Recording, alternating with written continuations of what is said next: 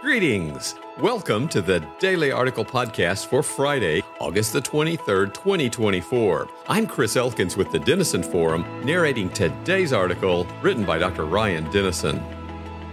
Going into the Democratic National Convention, one of the primary criticisms of Vice President Kamala Harris's campaign was that it subsisted more on vibes than substance. The Dispatch's Nick Catoggio used a Seinfeld line to liken it to a show about nothing, and he was hardly alone in that sentiment. While that approach has been effective to date, taking the race from one that favored former President Trump to a toss up, the same polls that see the candidates as evenly matched in terms of votes have also found that more voters trust Trump on key issues like the economy, immigration, and public safety. As such, one of the week's primary goals for the DNC has been to slowly introduce some of Harris's policies without losing the momentum her campaign has built over the last month. A difficult balance to achieve, considering the division within the Democratic Party on a number of these topics.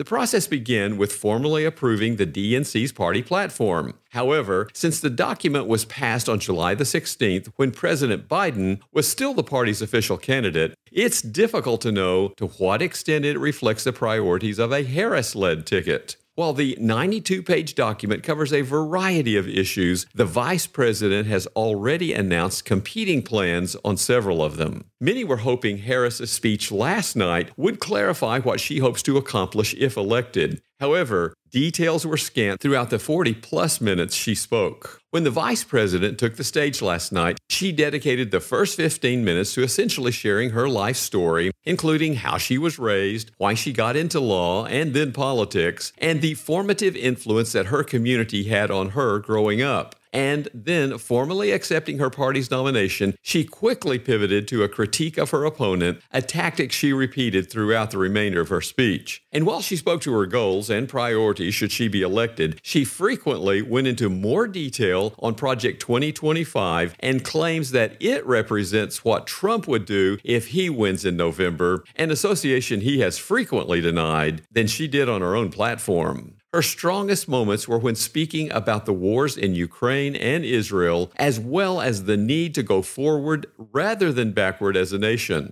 In particular, characterizing Hamas as a terrorist organization and openly condemning the attacks last October marked a clear and welcome departure from how many in the Democratic Party have approached the issue. Ultimately, her speech had the desired effect on the crowd, and many parts of it were clearly attempts to reach across the aisle in an appeal to those who have not yet made up their minds regarding November's election. And while it's unclear at this point how effective those attempts will be, the early returns are positive. Now, as the political calendar turns towards the first debate between Harris and Trump on September the 10th, the question will be if the vice president will shed further light on her policies prior to that point or try to keep the same approach her campaign has used to date. You see, most pundits agree that the greatest challenge for Harris in this election will be creating a degree of separation between herself and the Biden presidency when she played an integral part in its decisions. Given that 69% of voters believe changes are needed, it seems doubtful that her campaign can maintain the same momentum without demonstrating that she can bring about that change.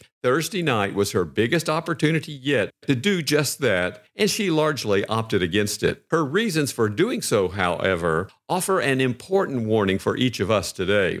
One of the flaws inherent to a democracy is that it incentivizes our leaders to do what is popular rather than what is right. Ideally, those two perspectives would be one and the same. However, that is often not how it plays out. As such, those seeking office from both parties often find themselves attempting to balance concerns and viewpoints that are fundamentally at odds with each other. The chief reason for Kamala Harris's relative silence on policy positions to this point in her campaign is that such silence gives people room to see what they want to see. Once she takes a side, though, she will inevitably risk alienating a portion of the population. Yet, that temptation towards silence and ambivalence in a vain attempt to keep the peace is hardly limited to politicians. Each of us can likely think back to a time when we chose the absence of conflict at the expense of standing up for the truth. The issue is the more often you make that choice, the easier it gets to continue doing so. And that's a problem when God has called us to share a truth that many will not want to hear, regardless of the cost, referencing Matthew 28, verses 16 through 20.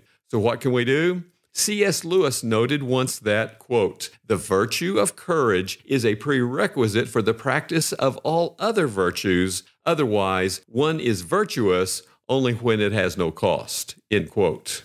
The Lord needs more of that courage from His Christians today. That does not mean we should go looking for a fight, but standing on the solid rock of Scripture, even when storms shake the world around us, will always be the right choice, regardless of its popularity. And one of the best ways to demonstrate that courage in our culture today is by placing our loyalty to the Lord far above our loyalty to political parties or other people. How can you demonstrate that courage today? The Denison Forum team is grateful for our daily article podcast subscribers. Please share the podcast with others. And for more news discerned differently, visit denisonforum.org.